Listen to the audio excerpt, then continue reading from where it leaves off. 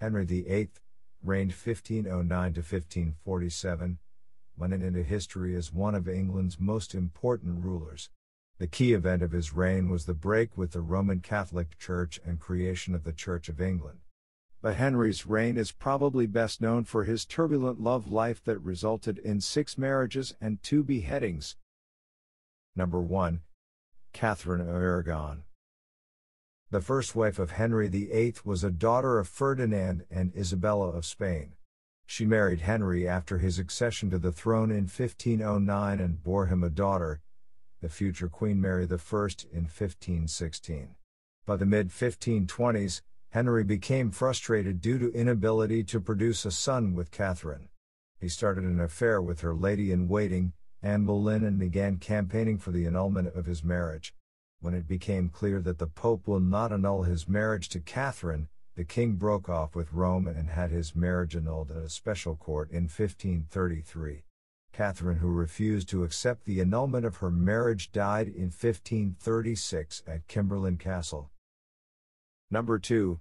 Anne Boleyn. The second wife of Henry VIII and Queen of England from 1533 to 1536 played the key role in English Reformation. By refusing to satisfy herself with the position of the king's mistress, she soon became an obsession for Henry. He put all efforts to annul his marriage to Catherine of Aragon to be able to marry Anne. They married at a secret ceremony in January 1533, while Anne was made queen six months later. In September, she gave birth to the future Elizabeth I, but Henry was embittered because the child was not a boy. After three miscarriages, the king gave up on his wife and had her investigated for high treason she was found guilty and executed by beheading in 1536. Number 3. Jane Seymour.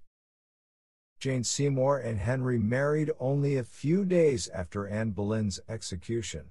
She was proclaimed queen consort shortly after marriage, but she was never crowned, probably due to plague in London. According to some, however, Henry perhaps did not want to have her crowned until producing a male heir.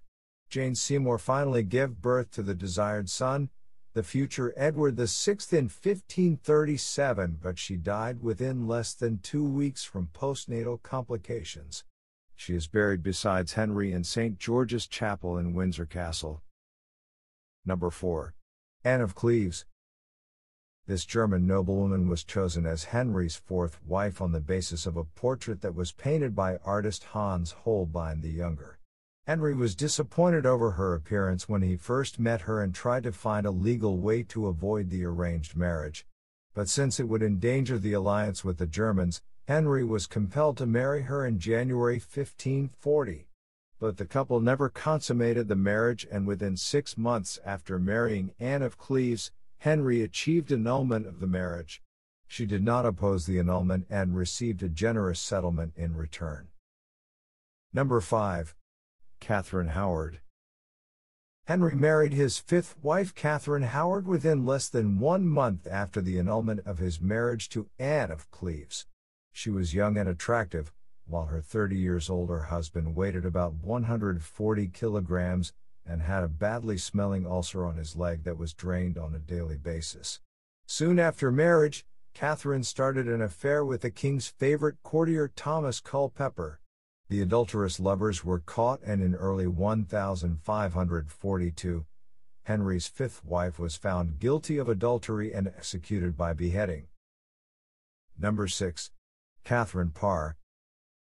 Catherine Parr was the sixth and the last wife of Henry VIII. Just like Henry, Catherine Parr became widowed in 1543.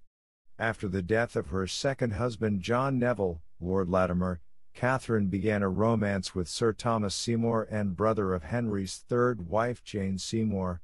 But since the king showed interest in her, she refused Seymour and accepted a marriage proposal by Henry.